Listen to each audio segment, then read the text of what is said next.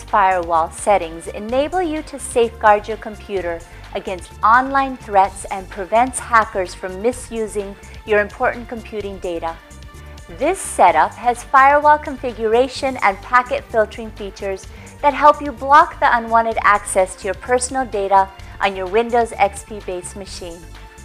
If you want to block a program through firewall on Windows XP, then follow me through these quick and easy steps.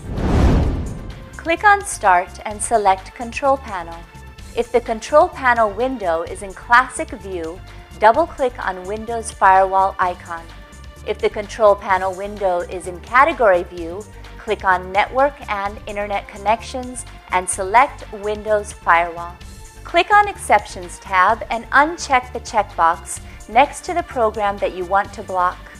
To remove that program from the exceptions list, click on Delete and then on Yes. Click on OK. Congratulations! You have successfully blocked a program through Firewall in Windows XP. If you face any problems related to your computer, operating system, software applications, or peripheral devices like printers, MP3 players, digital cameras, etc., then call iYogi and we can help you fix it. Good karma.